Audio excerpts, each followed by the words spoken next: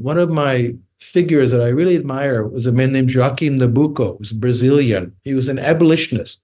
He worked all his life from being a student until success in 1888 to eliminate slavery in Brazil. He said it was unbearable that here he was a, a free person, but he said what was unbearable was to live in a society when other people are not free.